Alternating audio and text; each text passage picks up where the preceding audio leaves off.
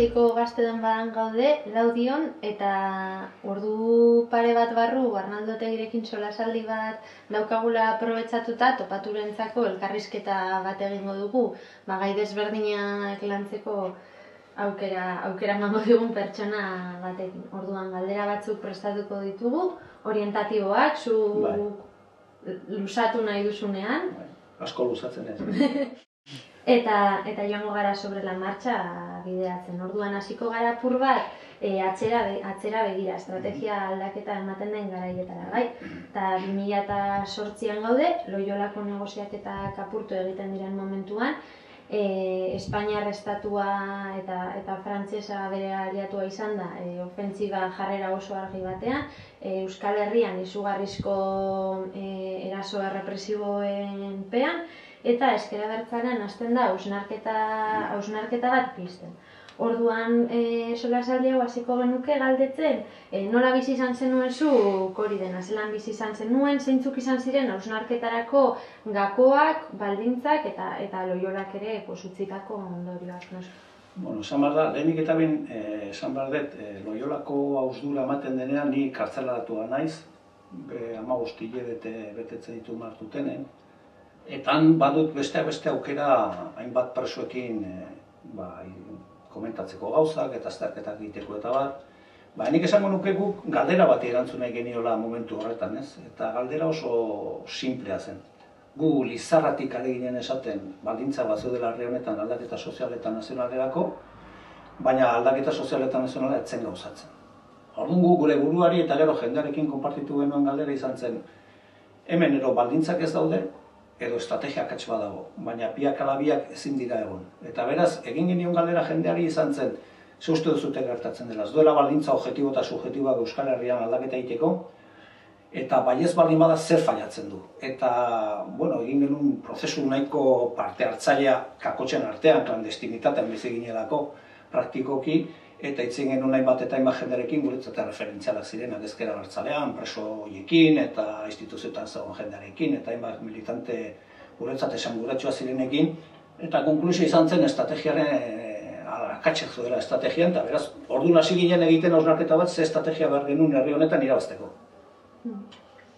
Bale, guk ez da da horren ondorioak eta eta zelan eman zen diren nahiko modu distortsionatuan jaso ditugu alde batetik bizi izan genuenok Bai. oso oso gaztea ginerako Bai. eta eta ez ginerako oso enteratzen asamblea herri batzar desberdinak zertarako ziren eta eta beste alde batetik ba egia delako oso aldaketa sakona eman zela abertzalearen baitan eta azkenean ba zelan bizitzen dugun subjetibotasun Bai. horrek ere eragiten duelako kontaketa egiterako garaian. Orduan oso distortsionatuta jaso izan dugu.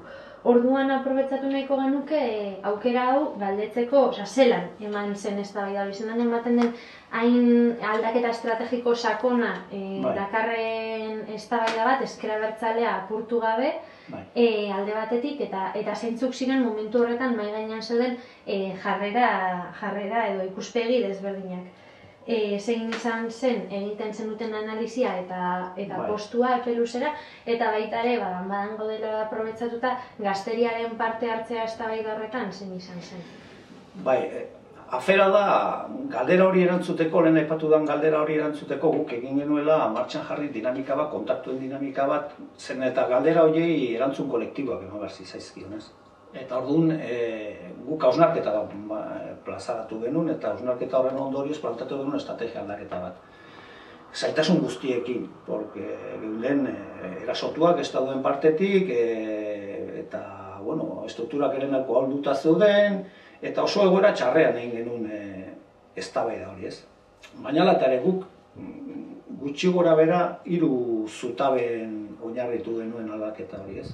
Lehenengo izan zen guk ikusten genuela Europan posiblea zela, gehiengo herritar demokratikoak osatuz, estadu berriak sortzea, ez? Guretzat orduan Eskozia zen, nola ere ipar horratza, eta ikusten genuen hori posible zela, baina bai zegoen Flandriako e, prozesua ere, eta gero ikusi dugu Kataluniako prozesuak ere erakutsi duela hori posible dela egitea, ez? Posible dela gutxienez prozesua martxan jartza, gero nola bukatzen den beste gauza bada. Hori zen guretzat lehen e, oinarrizko zutabe bat esaten genuen, bueno, hemen ematen du mundu honetan eta Europa honetan posible dela estatu berria sortzea gehiengo absolutu eta gehiengo handi eta demokratikoak osatzen baldin badira. Bigarrena zen, guretzat funtsezkoa izan zen, e, Latinoamerikan ematen ziren hainbat eta hainbat e, aldaketaz. Eta nola jaiotzen hasi zen bere garaian deituriko hogeita bagarren mendeko sozialismo berria. Eta hori ikusten genuen argita garbi e, bazirela estrategia politiko-militarrak eta estrategia politiko-militar horietatik nola baitera aldaketa egiten ari zela akumulazio estrategia herritarra, e, herrietarra. Eta orduan, ba, ikusten genuen horrek ere bide bat berria irekitzen zuela nola baitere ba, prozesu irautzaiak egokitzeko eta kontestuari hobeki aurre egiteko, ez? Eta hirugarren zutabea horretza zen, argita garbi ikusten genuela, herri honetan bazegola sektore oso handi bat, PNV-ren eskerrera, e, PNV-ren kudeaketaz ja nahiko nekatu egon zitekena, ezkerretik eraldatzaile izan zitekena, eta horri eman behar zitzaiola estrategia baten beharra, beharrean zegoela eta hori eskaini bertzela. Eta hiru zutab horien gainean egin genuen estrategia aldaketarako e, planteamentua. Eta gero, egia da guk, bo, ni batzutan brometan esaten dut, e, egia da eztabaida hor momentu horretan eman zela eta gu forma eman genioela eztabaidari, baina eztabaida emana zegoen. Hau da, estrategiaren inguruko eztabaida ni bizi du patioetan, kartzelako patioetan, kalean eta nola ere faltatzen zela zen forma ematea, ez? Jendeak ikusten zuen ba, nola baiteko tope bat emana zegoela estrategiarekin, ez genuela aurrera egiten, eta beraz behar, beharrezkoa zela aldaketa bat, eta guk egin genuen izan zen horri bide eman. Baina gero guk ja, e, estrategia aldatu baino pixkalen nagoia kartzela izan ginen. Vale. E, zutik Euskal Herria dokumentutik eta estrategia aldaketatik ona da honeko sei urte pasa bai.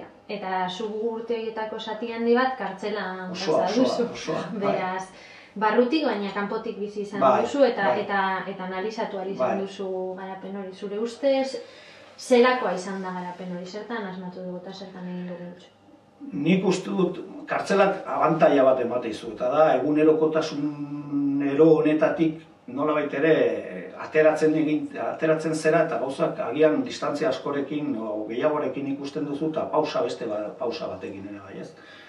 Ordu nik uste dut e, balantze bat egiterakoan badiela gauza onak eta gauza txarrak. E, nik esango nuke ez dugula zertatu estrategia berriak zuen potentzialidade osoa garatzen, inundik inora ez.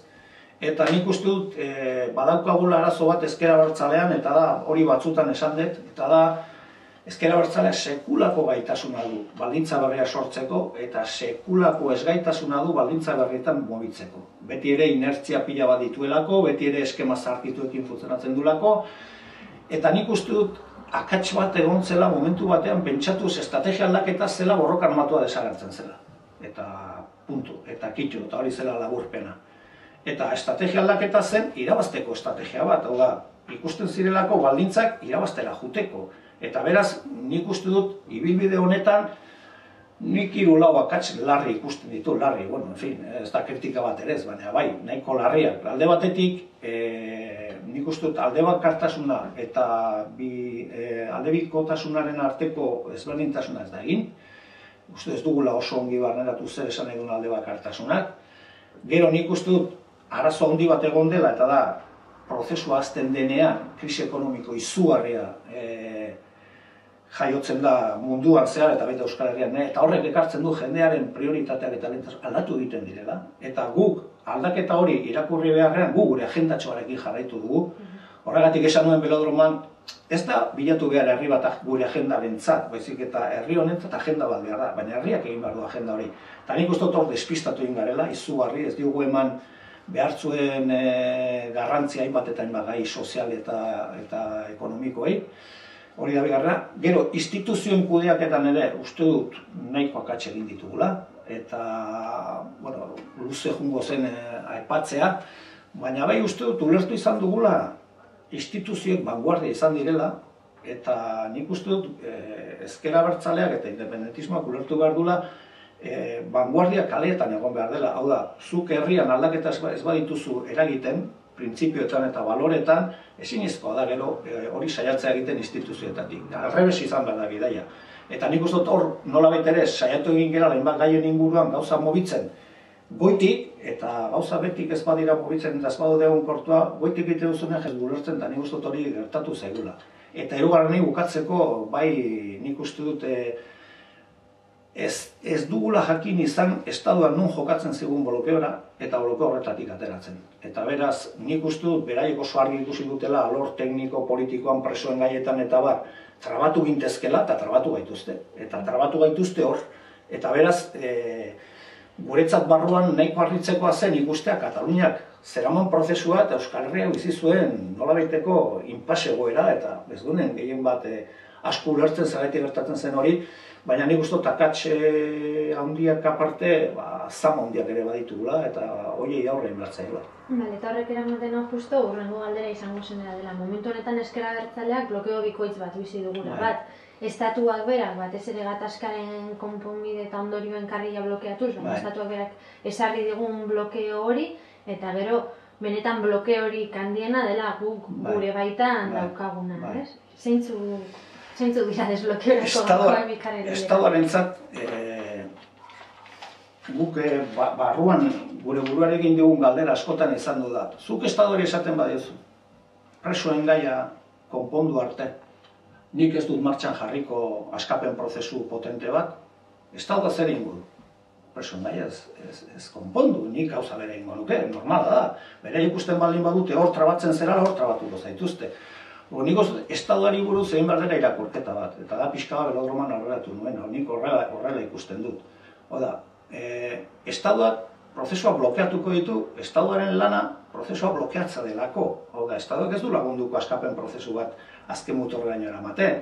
Egingo duena da, egiten badu zerbait, behartuta egingo du. Orduan, nik uste dut, nahiko kezkarekin jarraitzen dut egun hauetan nola ere herri honetan eman den kolonizazio mentala, ez? Osea, da, guk ez badugu ulertzen alde bakartasunak eramaten gaitula, e, guk iparraldean esaten den bezala, estatu ez futitzen gara.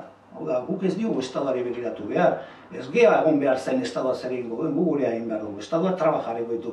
Eta beraz, lehenengo desblokeoa niretza da mentala. Hau da, guk ez dugu lana eta kompromiso politikoa eta militantzia egiten, estatuak ez dakizeroak ez egingo egiteko. Guk, gure herriari begira jarri behar Eta hori egiten badugu nik uste dut asko aurreratuko dugula desblokeo e, dinamiketan. Eta gero guk jarri behar duguna martxan da, nik oso garbi dakar jarri behar dena martxan da prozesu independentista bat Katalunia egin duten bezala. Eta beraz, herri honi egin behar eskaintza integral bat, orain egiten ez dari garena, eta behar dela osatu independentismoak behar du, nire ustez, ez oso horizontal bat herrialde guztietan, proiektu berritu bat matxan jartzeko eta proiektu hori izan behar da askapen integralerako proiektu bat lalor sozialean eta lalor nazionalean. Eta horretara dedikatu gure indarrek. Mm-hmm. Horri lotuta, behin borroka armatuaren zikloa itzita, zein izan behar da eskera hartzaren papera prozesu independentista? Eta bereziki, bai, bai. Nik uste dut, eh, azken sei urte honetan ikusi dena, nik bai uste dut lehenengo momentuan eskera hartzala jakin izan zuela iniziatiba berezko duzten berezko e, eusten. Eta horrek markatu egiten zuen egoera politikoa. Baina, norbaite begiratzen bali badu azken urtetan gertatutakoa, ezkera bertzalea pulsoa galtzen dionean herri honi, eta ezkera bertzaleak nola baitere ez duenean markatzen pulso politikoa herri honetan, herri hau bilakatzen da oso herri apalean, kontzitzi nazionala atzera doa, eta PNV-ren eskutik hau bilakatzen da, ba, nola baitere komunitate autonomo arrun bat, non bere berezitasunarekin, baina ez dago impulso borrokatzailerik, ez dago impulso askatzailerik. Orduan, ezker bartzaleak egin behar duna da, ba, jaiozen horretarako e, eta horret, horretara dikatu behar ditu bere indarra. Eta herri honi, eta herri honekin, eta herriarekin proiektu askatzaile integral bat osatu, eraiki eta herriari eskaini. Eta gero, gure lan izan behar da, horren inguruan gehiengo zabal bat eh, lortzea. Eta gazten e, e, nola baita ekarpena, guretza funtsizkoa izan behar da, besteak beste ikusten dudalako e, badirela arriskuak belaunaldien arteko nola ere eten bat e, egoteko, e, nik uste dugu ez gara kapaz izan belaunaldi berri transmititzeko gure historia osoa, e, gauza nolakoak izan diren eta guzti hori, eta nik uste hori oso osoak atxelarri izan daitekela, eta gero zuez arete etorbizuna, hau da, e, gu ezin dugu herri honen proiektu bat egin, ezin dugu estrategia bat garatu nola ere gazte belaunaldiekin bat egiten ez badugu, gazte belaunalditik kuadro politiko berriak ez badira sortzen, gazte belaunalditik nola ere jendea ez badu e, bere karpena egiten proiektu honetara, eta beraz, niretzat funtseskoa da, gazte egin behar, de, egin behar dezuten e, ekarpena proiektu askatzaile honi. Bestela, e, guia gora guaz, eta hemen behar da, belanaldi berriek, guk, ust, nik oraindik uste dut Euskal Estatu ez autuko dudala, nik konbentzituta nago. Baina esaten duguna da, gu badokagu ardura bat, eta da, etenik gabe herri honen borroka jarritu behar dula. Bale, horri lotuta, e, zuk uste estrategiaren izenean gazteok gure, gure burua behartu dugula gazteriaren berezko izaera rebelde horri mugak jartzera? Arazoa da, batzutan entzuten dudala estrategia hitza eta ez daki ziur zertaz hitz egiten ari garen, porque eh, nik estrategia berria ulertzen dut irauzteko den tresna bat bezala. Eta guk eh, estrategia aldaketa plantatu genuen, nahiko garbi genukan, estrategia hori konfrontazio estrategia bat izan hartzela demokratikoa bai, baina konfrontazioa. Eta beraz, e, nik uste dut, estrategiak nola ere bideratu behar dula e, proiektu askatzaile bat indar guztiak eta energia guztiak. Orduan, nik uste dut proiektua dela errebeldea bere baitan, ezkera bertzararena. Ezke, gure proiektua da guztiz e, olite, o elite eta oligarkia finanzio eta ekonomikoen kontrako proiektu bat, e, Europar eliten kontrako proiektu bat, ezkerretik doana, gai sozialetan oso aurreratua dena, eta bar, da beraz, osotasunen da proiektu errebelda. Beste gauza bada, errebeldi hori nola, nola e, frogatu egiten da, nola jartzen da martxan. Hori da beste ez da baina adibidez, desobedientziaren bidea, nik uste oso gutxi jorratu dela, nik ez dut esaten ere ez igual termino klasikoetan jorratu behar dela, baina bai uste dut, nola ere, guk herri honen aurrean frogatu behar dugula, nola ere, simple izateko, herri honek ez du askatasuna lortuko ez badu borrokatzen. Oda, norbaita pentsatzen badin badu Euskal Estadu bat osatu daitekela. Borroka egin gabe, konfrontatu gabe eta ordaindu gabe, nola ere ba, presio bat, nik uste oso niri gustatuko litzaidak, eh? Niri gustatuko litzaidak jenderi izatea, haizu, borroka egin gabe, lau urtetik lau urtetara bota boto bat emanez, eta hori lortuko Euskal Estadu independiente bat, baina espainolek errespetatuko, ez da gertatuko. Ez da gertatuko, orduan, Ni bai uste dut, e, agian estrategiaren izenean egiten dira autozensura batzuk, non agian ez dutena zentzu handiri. Nik esaten dut, bai botatzen dut faltan, eta hori da, egun gutxi daramak kalean, baina bai botatzen dut falta, inkomunikazio handia ikusten du gure artean. Eta beraz, e, gauza guzti horietaz, ni e, bueno, eskola zarrekoa, nahiz, eta nik ikasi dut gauzo horiek eztabaidatzen direla lasai, errespetu guztiarekin mai batean, eta ez dela zer gertatzen, eta gero, seguru eltzen garela adostasun askotara. Baina behi, dakaten impresioa da askotan inkomunikazioa kalte handia egin digula. Eta gauza guzti hauetaz eztabaidatu behar da, nik esaten dut, errespetuarekin, baina bakoitza pentsatzen duen esaten. Eta nik uste dut, eske, eske hartzalean proiektua errebeldiari gabe, ez da bere proiektua, ez zan gure izango izan zen beste gauza bat, baina gu zerbait izan barbali bagera ba, ba, historia honetan errebeldeak izan gira, ez. Hmm. Horri oso lotuta galdera, askotan sortzen delako kalean, bai. gure artean ez da bai da, estrategia aldaketa ematen den eskera pasatzen delako. Hildo irautzaile bat izatetik, hildo erreformista bat izatera. Zer zango zen hori pues eso, soker dabil, hori izaten duna soker dabil, bai. E, ez, ez, ez, gero, ez sakona izango zen irautza eta reformaren arteko ez hori historiko kiezkerrean egon dena eta bar, baina afera da, e, zerbait balen badu gure proiektua da, nola ere, Estado Espainolean eta Frantsesean, kolokan jartzen dula olite, olite arteatzen zait, elite ekonomiko eta oligarkiak egiten dituen inposaketa proiektuari aurre egiten diola, era radikal batean. Eta beraz, erreformak zer esan nahi du? Oda, nik beti defendatu izan dugut, erreformak azpitik egiten badira irautzailea direla. Oda, erreformak estadu batean ematen baldin badira, herri presioa dagolako netzat irautzailea da. Gero ez du esan irautza osorik egin duzunik, baina netzat funtsezkoa da metodoa eta pedagogia. Eta netzat hori da funtsezkoa. Beraz, e, Estrategia aldaketa ez du esan nahi, ez gu gure printzipioak abandonatu ditugula, ez gure baloreak, ez gure helburua, gu helburu berdinak ditugu. Bakarrik, saiakera bat izan zen esateko, agian estrategia hau eraginkorragoa da. Eta nik ustot eraginkorragoa dela eta izango dela. Baina hori ere, zalantzak jartzea, ez dago baizki. Hau da, e, iraultzaileak edo kompromiso politiko handia daukagunak, gauza guztiak errealitatearekin kontrastatu behar dugu. Osea, txostenaetan dena da posible, baina gero realitatea zein da. Eta nik uste guk autokritikoak izan behar garela ere egindako gauza askorekin, eta ez dago arazorik, nik bai detektatzen du nolabiteko badagola ezkera hartzalean beldurrak eta bar baitz egiteko eta kritika egiteko, eta nik uste hori era naturalean egin behar, ez dago lehen arazo. Ez gu bestela, nik pentsatzen dut gauza bat, eta da, gu izan behar gera defendatzen dugun etorkizuneko proiektu horren islada, gaur, gure bizitzan, gure baloretan, eta bar, eta nik uste dut, gauzak hitzein behar direla, eta guztu behar direla, eta ez dago lehen joan garazori kontrasterako eta estabeatzeko, eta nik esate dut, estabe ideologikoan zorrotzak izan behar dira, oso zorrotzak. Baina mauleak ere, bai, ez da zer gertatzen, jode, ez da zer gertatzen, ez da zer gertatzen. Vale. Estrategia aldaketaren inguruan, ja, azkenengo galdera horrela begira jarri horretik. E, zuk ere nahi batu duzu estrategia aldaketa ematerakoan edo moduan hartzen zila Latinoamerikan bai. momentu horretan kriston indarra hartzen bai. ari ziren paradigma bai. irautzaiek.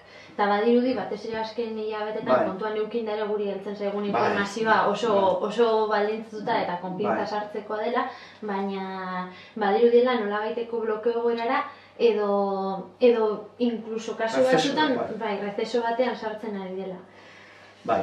Ze ikaspen hortik edo egokia zen eredu horiek hartzea esportableak dira Euskal Herriera?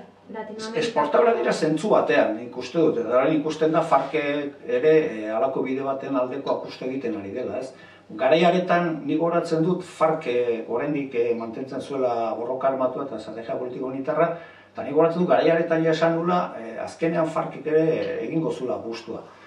Apustu horretarako arrazoi pila daudelako, geoestrategian eta munduan eta bar, eta bar. Zer gertatzen ari da Latinoamerikan, ba, zori txarrez, prozesu irautzaileak beti daukate espansio fase bat, baina beti dago recesoa, adia olatu bezala, beti atzera eta horrela izango da. Esan nahi dut, ez dago prozesu transformatzaile linealik, ez da egiten beti aurrera. Eh? Lehenik esaten zuen paso adelante, dos atrás. Eta horrela egin behar dela beti. Ez orduan, nik uste dut, eredua balio baliogarria da. Zer hartatzen ari da, ba, zoritxarrez, ba, Venezuelan adibidez, akatzlarriak egin dira, momentu honetan, ba, sektore konservatzaileak eta nolabait ere kontrairatzaileak botere handia lortu dute herriaren herriaren kontzientzian eta hori arazo da, arazo da, zen eta ezin da egin irautzarik herriari gabe, mm. eta herri gehiengoaz badago zurekin ezin da inposatu, eta bai ikusten da ere Argentinan eman dela lako eskubiaren, nik uste munduan zer badatorrela berriz ere eskubiaren olatua, eta beti izan da horrela historian, eta etorriko da hori eta etorriko da gure ere, bai, berriz ere. Eta fera da nola gean kapaz gurea etortzen denean e, berea alik eta beranduen etortzea edo ez etortzea. Eta nik hor faiatzen dugula. Hau da, gure olatua datorrenean ez dugu aprobetsatzen jakiten egiten egonkortzeko eta hori gertatu zego gure instituzioetan adibidez,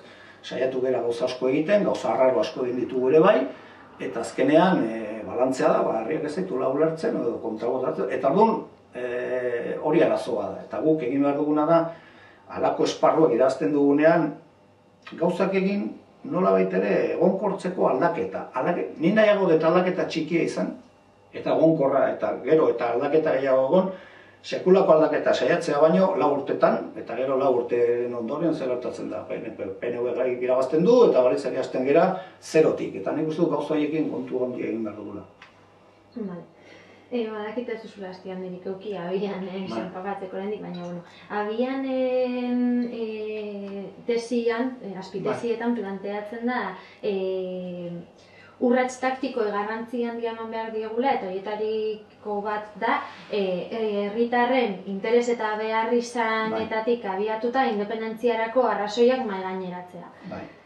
E, eta momentu honetan krisi sistemikoa bai. hartuta bai. behar izan eta bai. arazo bai. handiak bai. eta, eta oso nagaria edo zure uste zepe laburra eta hartanian zeintzuk izan behar dira horretarako lehentasunezko hildoak. Nik, nik, nik uste dut lehenik eta lehen behar, behar dugula mai gainean jarri denen artean, ez da bai da parte hartzaile baten bitartez, osea, independentismoak behar du Italiar komunistek esaten zuten fasearen ezaugarritze garbi bat. Nik uste dut ez dago momentu honetan. Oda, gu jakin behar dugu ze fase historikoan bizi garen, eta zintzu dira helburua fase honetan. Nik uste hori ez dakagula.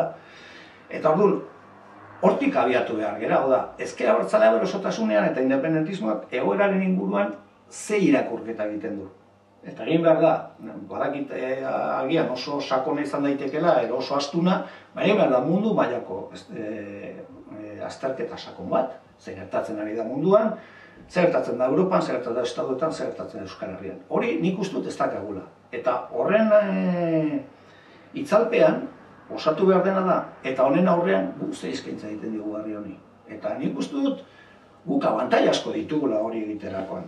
Adibidez, e, hori ez da izan daiteke, baina nik uste dut, hiru abantaia nahiko desente ditugula guk besteekin konparatuta. Bat, Estado Espainola ez da demokratizatuko.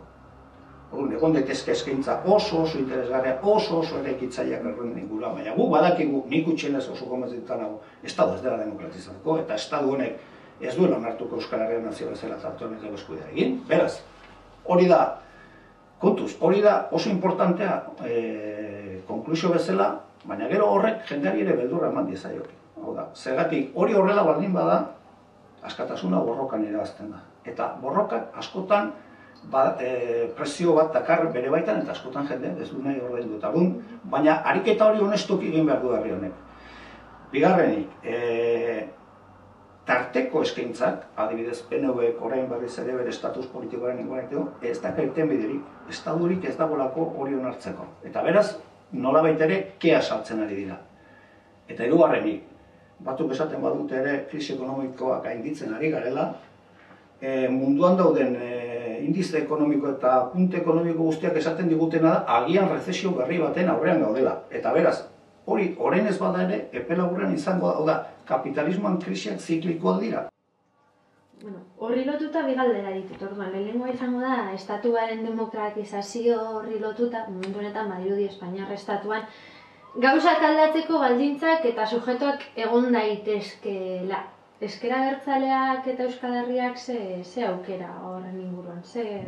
Nik uste dut, eh, egia dela, badagoela horrein intar berri bat, nola ere, bueno, aurrera poso bat eman duela, unionismoa demokratizatuz. Oda, eta espaldian ezker bertzaleak beti planteatu izan du Espainiar Estatuan ez dela ezkerrarik egungo ezker horrek aututen ez eskubidea ez badu onartzen. Eta beraz, e, bueno, guk esaten duguna da oso ongi, e, zuek ustea zute hori posible dela, gu laguntzeko prez bade. Hau da, guk Estatua demokratizatzen bada oso ongi, guretzat hobe. Baina, egin berean, onratu kibirai eskatzen diogun ariketa da, ongi. Baina zuek konturatzen zaretenen eta konturatuko zarete, hori ez dela posible. Huk, reciprocidades eskaira bat egiten dizuegu, eta da, zuek babestu herri zapalduetan eta nazio zapalduetan montatuko den, ero prozesuan dauden prozesu konstituzionalileak. Eta, bueno, nik uste dut hori izan dela gure posizioa. Hau da, guk ez dakago arazoi, Espainiar Estaduan posibilea demokratizatzea, bueno, gura honduko, guk ez du, nik ez du sinisten. Hau da, nik ateismo politikoaren e, adierazpen bat egiten du. Nik ez ditut mirarietan sinisten, horbete mirari bat egiten badi presnako sinisteko. Orduan, gure posizioa nik uste hori izan behar dela. Izan da, gu pres gaude laguntzeko, egia da sinergiak sortu behar dira ezkerraren artean eta bar, baina, izu, nik eginda usnarketa objetibo bat ez horren inguruan, ez ditut e, ikusten zantzua hondirik estatu hori demokratizatuko denik. Orduan, nik uste dut herri honek gaizki ingo lukela, berriz ere pentsatzen balin badu, bere irtenbideak eta bere soluziobideak estadutik pasatzen direla. Osa, guk estatuari pasatu behar dugun mezu bakarra da, gu e, prozesu independentista martxan jartzena goaz. Elduko gera ero ez, baina ez dugu zuekin pentsatzen, ez ditugu gauzak zuekin e, pentsat, ez ditugu zurekin hitz egiten, ez du zuekin adostuko. E, berdin zaigu zein ez zuten, kalte gehiago ero gutxiago ingo diguzue, sofrikario gehiago ero gutxiago sortaraziko diguzue, baina ez dugu herri honek erabaki bat hartuta daka, eta nik guztut horrekin nahi gura horrela. Eta bigarrena lehen bota duzu egoera ekonomikoak segurenik bai. txarra goengo duela. Espada orain, hamar urte barru bai, izango bai, da, bai. Eta, eta, eta nik badut, eta uste dut eskera bertzaren oso konpartitua den keska bat dela, e, beti esan izan dugula, eskera bertzala dagola, sektore zapalduenen bai. ondoan, eta, bai. eta, eta, e, elkarrekin egingo bai. dugula aurrera, eta borroka, borroka bakar bat dela. Eta gaur daguna, zeinetan azkenengo urteetan esan dezakegun oso, osea, bereziki kaltetutako sektore oso bai. identifikagarriak egon bai. direla eta eskera bertzaleak ez dugula jakin borroka horietan parte hartzen, ez dugula jakin sektore horien ondoan egoten eta segurenik horrek ere eskera bertzalearen gaur egungo kanpora begirako irudi horretan eragin handiagoa handia daukala, Bai, ez? Naziotasunarekin dotzea, langile borrokarekin beran eskera bertzalea beti identifikatu Bai, izan denean bai, oso bai. burgesten ari gara edo ze pasatzen zaigu. Neri, entzen zai kurioso hori ez, e, e, nik uste dut azken urtetan gertatu zaiguna izan da lehen aipatutako ez, karo, guk genukan agenda, guk adibidez jarraitu dugu sei urte terdi bake prozesu bat eta hitz egiten. Euskal Herrian ez da bake prozesurik egon. Zen eta estatuak ez du inongo interesi bake prozesu bat garatzeko, eta bake prozesu bat egiteko bi aldeak behar dira. Eta du, nik uste dut irakurketa hori ez dugu ongi egin. Eta da, hemen ez dago bake prozesurik, hemen dago askapen prozesu bat. Momentu honetan beste estrategia batekin garatzen dena bake prozesu hori mantendu nahi izan horretan, nola ere, gu, mantendu izan dugu agenda bat, jode, jendearen lehentasunetik urrun egon dena. Ez du esan nahi jendeari etzaila inporta presoen egoera, baina problema da, jendeak euki duena buruan da, ba, bere seme alaba, kanpora joan behar dira lana bilatzera, bera agian langabezian gelditzen dela, e, agian etxea ezin dula orden, eta txerik gabe geldituko dela, orduan, Bitalki jendeak alako egoera, tensio egoera batean daudenean ez eskatu filigrana politikoa. Jendea bizi du, bizi duen bezala. E, aipatzearren, gerra, gerra e, egoera batean ez eskatu jendeari azterketa oso finak egitea. Jendea ditu dituen beharrak eta nik uste dut gure akatsa izan dela gu jarraitu dugu agenda batekin nola beteren baten genuen impresioa da, kei de lo mio. Ez? Eta jendeak zeneuk, zeukan angustia zen, jode, zer dago nereaz. Zeratik nik nire bizitza arriskoan ikusten dut, termino vitaletan, termino ekonomikoetan, e, termino familiarretan, term, e, termino sozialetan, ordu nik uste dut ez dela burgues aitzitik, esazkia bertzaleak beti planteatu izan duguna da, independentzia eta sozialismoa, beti uste izan dugulako, eta nik uste horrela da, independentzia gehien bat herri langileari eta herritar sektoritas den zaiola. Orduan, zergatik independentzia lotzen dugu sozialismoarekin?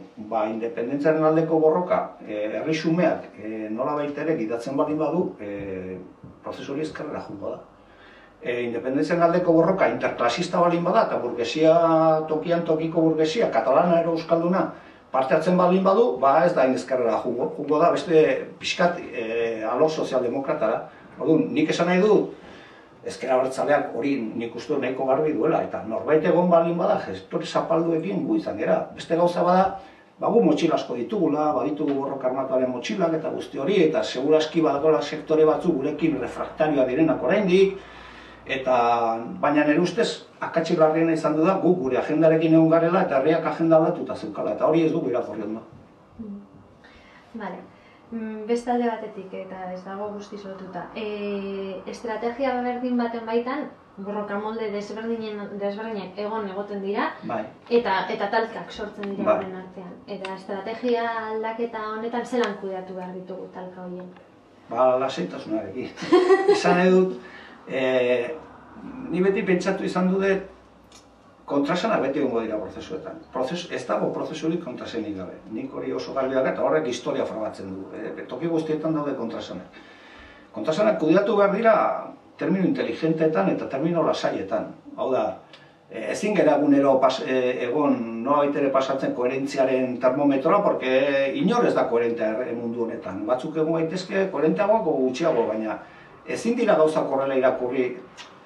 Nola ere usatu behar dugu batzutan ezkera hortzalean detektatzen den nolabait ere ez zela esango nuke, fiskalizatzeko, juzgatzeko dugun nolabaiteko etengabeko jarrera bat, eta nik uste dut lehen aipatu bezala, gauzak egin badila lasaiago eta bat. Orduan, e, guk masa borroka dakago, borroka ideologikoa hau, niretzat funtseskoa dena momentu honetan, porque nire ustez ez dago aldaketari printzipio eta baloretan aldaketarik ez badago, eta hori eguneroko borroka exigitzen du, eta hau borroka instituzionala. Zer esan daiteke momentu honetan esperientzia ikusita e, borroka molde hauen inguruen. Bat, e, igual lusatuko naiz, eh? Bat, e, ez dago aldaketarik instituzioetatik lan eginez bakarrik. Hori ezinezkoa da. Besteak beste, instituzioen margena gerotan murritzagoa delako Europa mailan eta Estaduen mailan. Eta beraz, e, hortik pentsatzea irautza egin daitekela, ezin daiteke. Baina, instituzioetan egiten delana guztiz funtseskoa da. baina lan hau lertuta nola ere politika bestera batetara egiterik badagoela. Eta nik uste hor akatsak egin ditugula, adibidez herri konsulten inguruan eta guzti horretan. Osea, guk frogatu behar duguna da, ez PNV baino kudeatzaile hobea gareni, porque beraie karreterak egiten gu baino hobeak izango dira. Bere bizitza osoan karretera egiten egon direlako eta gu ez, eta gaina bere proiektu horti pasatzen delako. Gu frogatu behar duguna da, gauzak beste erabatetara egin daitezkela. Eta hor, horrekin lotzen dute bidez, zaborrekin gertatutakoa. Hau da, niri bisitetan asko esaten ziaten, e, eta egiten badugu herri konsulta bat galtzen badugu, guk ez dugu galtzen. Guk irabazten dugu prozesuan, guk jendearekin hitz egiten badugu, gure proposamena planteatzen badugu, eta gazkenan herriak erabakitzen badugu, guk ez dugu galtzen. Prozesuan irabazi egiten dugu, zergatik, beste gero, edozin erabaki hartu nahi balin badute horti pasatu behar Eta beraz, guk formatuko dugu demokrazia bestera batetan antolatu daitekela. Hori, hori instituzionalean. Masa borrokan uste dut ere, moldeak ere, nola baita ere, zarkitua gelitu direla. Hori da, ez bat ere estrategio izan bardena sindikalismoaren mailan eta bar, reba eta guztire ematen, dute, e, ematen dutena. Eta hor ere, nik uste ariketa intelektual sakon bat egin behar dugula.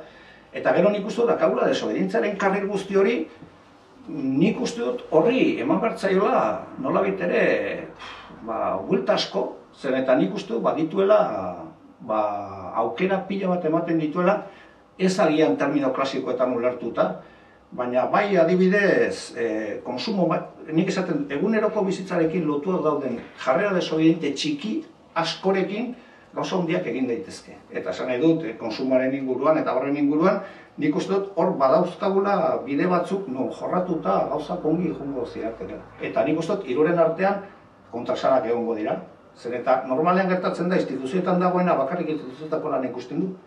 E, bestean dagoena eta baina hori egiten da lehenengo konfiantza behar da eta gero ba, gauza egin eta konpartitu eta eztabaidatu eta jendeak erabaki dezala. Utzi jendeari erabakitzen. Hori da nik esaten utzi jendeari erabakitzen. Trompatuko da, akatsak egingo ditu, ongi, ikasiko du. Eta azken galdera. Bai. E, azken aldian hegemonia hitz fetitxe bat jurtzeko bai. kriston arriskua daukagu. Orduan, galdera da, zure ustez, nola aktibatu behar ditugu gehiengoak klabe eraldatzaile batean? Jendarte eraldatzeko eta ez izateko gu jendartera moldatu behar bai. duguna. Ba, ez da, ez da galdera erraza, ez. Ba, orain, orain modan granzi dago, eta granzirekin hegemoniaren gaia, ez? Eta, bueno, ni maite du, porque granzi maite dut, eta italiar komunistak asko maite ditut. Bueno, gero, bukatu dira, bukatu diren bezala, baina zoritxarrez, baina nik uste dut badela iturri bat inspiraziorako. Nik oso garbi dakaten gauza bada, e, jendeak, o jendarteak, ero bakoitzak, eta bakoitzaren araberako bizitzan, printzipioak eta baloreak ez badira aldatzen ez dago aldaketarik. Hau da, gu borroka ideologikoan ez baditugu instalatzen balore berriak, eta printzipio berriak, eta hori ez da egiten inposatu da esaten hau dira baloreriko berenak, hori da, konbentzituz jendea, hori dira baloreriko berenak. Egun, jendea bizi, bizi gara gizarte batean nahiko narkotizatua dagoena. Eske kapitalismoak arriskoan ja ez du jartzen Euskal Herria, Espainiak Estado, kapitalismo honetan espezia bera dauka arriskuan. Izan aldaketa klimatikoagatik, izan konfrontazio nuklearragatik. Orduan, gu behar duguna da jendeari azaldu, e, dramatismori gabe, baina esan, e, menetazko hau da, ezu, eske hemen, ni nire ama hiltzenak beti izaten zuen, e, eske egualdia erotu egin da, eta erotu da, ez, eta aldaketak e, ikusten ari gera, eta beraz, momentu honetan kapitalismoak espezia arriskoan jartzen ari da, momentu horretan gaude. Nola lortzen dugu jendea, agobiatu gabe, porque jendea ez du agobiatuta bizi nahi, e, azaltzea edo printzipioak eta baloreak aldatzen ditugu edo eskepikutara goaz. Eta orduan, e, hau oso simplea da, hau horrela da. Eta ez dakit etorkizunik hori egin gabe. Orduan, nik horretan rekomendatuko nuke alduten, denbora dutenak Naomi Kleinen liburu irakurtzea ez tolo kanbiatu da, aldaketa klimatikoaren inguruan. Porque pista asko kemate ditu borroka antikapitalistarako ekologiatik nola egin daiteken, ez? Orduan, nik uste dut hor dago lagakoa. Osea, printzipioak eta baloreak aldatu gabe, zu posible duzu irabaztea hauteskunde batzuk. Eta ze? Zigero hartuko, zigero arrasaten guri, ez badigute bozkatzen, kooperatibistei zergak igodi izkiogulako, eskontxo, zertarako balio dugu guri arrasaten gehiengo izatea gero saiatzen geranean gauza oso oso txiki bat egiten ara sozialean, eta da, izu, zu diru da kaso zuzaka goren behar dituzu, mundu guztia bezala. Izan dut, hori da funtseskoa, eta horretan honekin bukatzen dute, horretan bada gauza bat nire ustez oso oso importantea, eta da, e, bakoitzak bere bizitzan eredugarri izan behar da. Oda, ezkera hartzalea zerbait balin badu da, balore militantea, kompromisoa, sakrifizia eta guzti hori. Guk ez badugu gure egunerako bizitzan eta bizitza osoan eredu izaten, saiatzen gutxienez, ba, nekez e, du jendea aldatu behar dela. Eta beraz, nik uste hori momentu honetan klabea dela, borroka ideologikoa, printzipioak eta baloreak. Eta horietan lehentasun batzuk markatzeko? Jo, nik uste dut, e, nik oso kezkatuta nago konsumo ereduarekin, hau da, adibidez guk nik uste aukera galdu genuela zaborren inguruan. Afera ez da zaborrak, zaborrak ez dira afera, afera da konsumoa. Guk konsumitzen dugun einean zaborra sortzen da, zeiten dugu zabor horrekin. Nola akudatzen da guzti hori? Horrek zertaren ama behar gaitu. Jo, ba, pentsatzen da agian, baizu, e, konsumo eredu honekin bukatu egin behar dela, bukatu kakotxen artean, bai, bukatzera jo behar garela.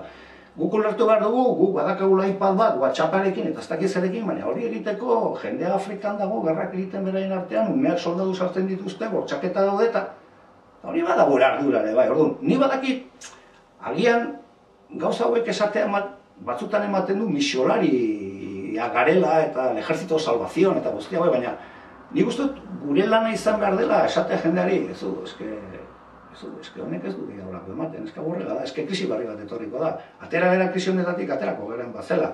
Eskubide murriz, murritzagoek, eskubide murrizketarekin, prekaritatearekin, guzti, eta eske datorrenen txarrago aterako gara, orduan, zeiten dugu. Eta gero jendea amabilidades tratatu. Irribarre batekin, mesedez, jendea ongi tratatu. Jendea ez da xaloa, jendeak badaki zer hartatzen da, behar du konbenzimendua, eta hori gure lana da, guk ez baitu konbentzitzen, nire ez ditu konbentzitu. Ba, bukatzeko zerbait esan nahi baduzu, beste da. Animo, telebista bat antolatu behar dugula, independentziaren alde, eta bo, fitxatu eta zaudete ja telebista. merke izan, merke izango da, baina hori antolatu. Banitza prekariotan egiko ditugu. Banitza prekariotan ez dira, ez da, eh? Baina, bueno, soldata, bueno, eh, hagamos, ba, hagamos. También es que es muy